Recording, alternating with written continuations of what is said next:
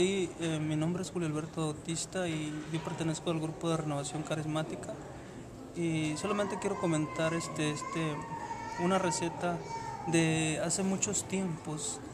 En México se acostumbra cuando la gente se enferma de la garganta o de la tos, de gripa, se acostumbra a hacer este, un té de limón y eso lo cocen en, en un sartén lo ponen en la estufa con un poco de, agua y se cocen y cocen los limones y parten los limones a la mitad y los echan adentro del sartén y esperan hasta que se, se, cosa totalmente todos los limones y después eh, se los sirven en un vaso y se lo toman y se sana. Muchas gracias, Julio. Gracias.